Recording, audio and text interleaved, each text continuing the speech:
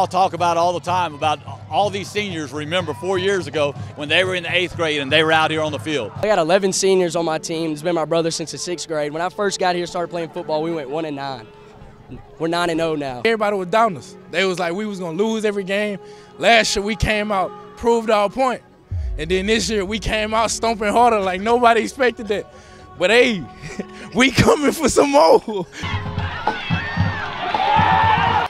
Season 2, episode 49. Patience is the key. This episode is sponsored by Sharon's Defensive Driving. We took a trip out to the backwoods. Glenbrook undefeated and taking on the defending champs, the Homer Pels. Coach Feaster never goes quietly into the night, nor should he. All he does is win. Coach Casey, he's built something special in his hometown, and he capped it off with a title last season and trying to run that thing back. It was like watching iron sharpen iron under them lights. The defenses took advantage of the offseason. Check them out. Let's go, D! Let's go! Both teams battled in the trenches. And after that first quarter, we knew it was going to be a movie. Trey Kent, he was something like Clark. He put on the cape and he snatches an interception. He put on a nice return for them boys. DJ Carter and the Apaches, they would finally reach the end zone in the second quarter. Ty Feaster sneaks it in from the one yard line. That's a tug.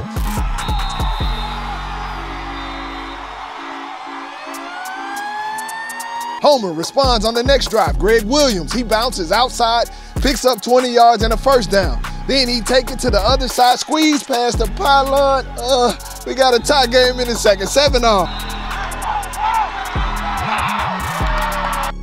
It was a real life battle. Every inch matters. That would be your halftime score. Nothing but respect from both sides. They were calling Ty Tom like Brady, calling Waltese the Hulk. But that didn't mean they stopped competing. Landry Powell, he went crazy. He had some big time sacks and some tax for losses. In the summer, we go out there to the track, we run sprints, we go into the weight room, we do our power cleans, do our squat, do our bench press. We just get better in there. Coming in, we're gonna have to work. You know, we thought this year was special. You know, it means a lot when you're a senior and you're like, man, the year is gonna come, keep going away, and it's eventually it's gone. So the hard work we put in, Coach Feaster has us working. You know, big weight room guy. That led to another nice drive for Glenbrook. Turner McClellan on the end around. He picks up 26 before being pushed out of bounds. Then Ty drops back, catches a man in the flat. That's another first down. Then they started feeding Mad Max Mandino. Yards on top of yards. Led to a tub for the try. 14-7 in the third. That's where you need to buy in at, the weight room. Once you buy in the weight room, everything gets easier. Do the little things right and the big things will come. The Apaches with all the momentum. Homer losing a few players to injury. Ty and the offense went back to work. The play action brought him time, and he found his single. Kason Clemens. Uh, that's a huge first down for them boys. The Pels defense would make a stand. A field goal attempt, no good. We still got us a game, boys.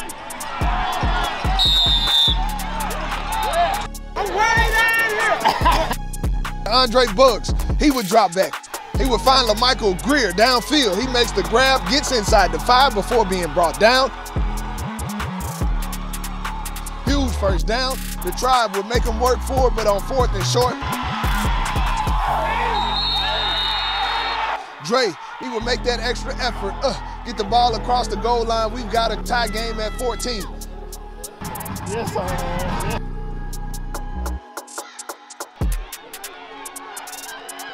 Here we go again. That boy Rhett picks up eight and a first down. Then Ty throws a dot to Mad Max. He makes the grab.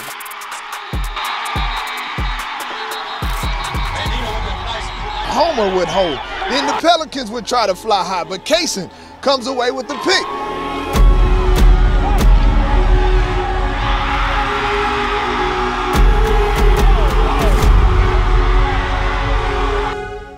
Coach Feaster draws up this one, Mad Max. He comes around the edge, shows inside, goes outside, picks up 10 more before stepping out of bounds. It wasn't easy, but it ain't supposed to be.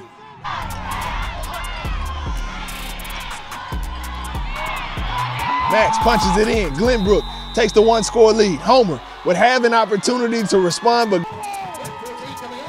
but Glenbrook's defense, they would make the stand on fourth and long. They needed a miracle. They wouldn't get it off. Glenbrook hangs on to win it.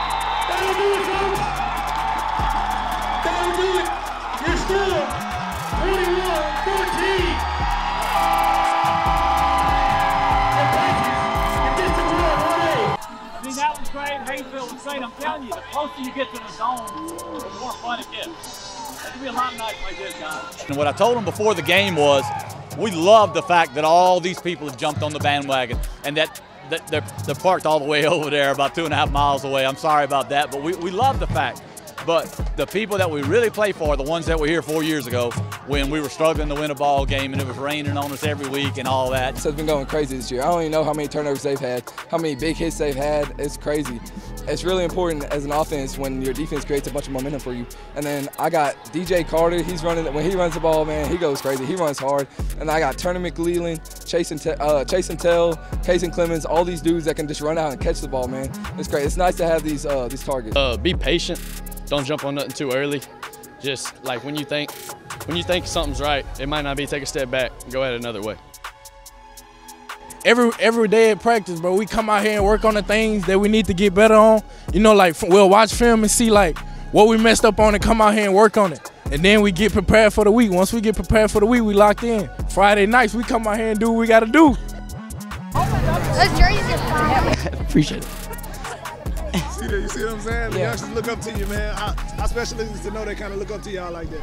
Hey, uh, little kids, I was one of them. I've been here. I've been at Glenbrook my whole my whole life since I was in kindergarten, and I was I was one of those kids over there right now after the game throwing the, throwing the football, and now I'm standing here getting interviewed after we just after we just won. So to them, just keep your head up and keep grinding, and it's gonna pay off. You know I'm small, so if you're small, don't worry about it. People will say a lot of things about you.